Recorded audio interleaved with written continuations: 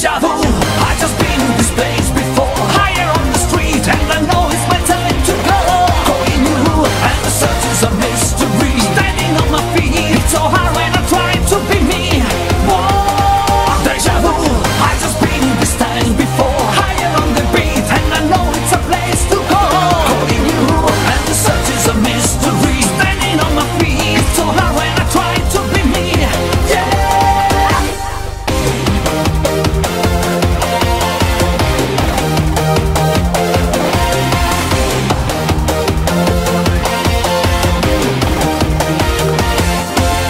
see the future into the present.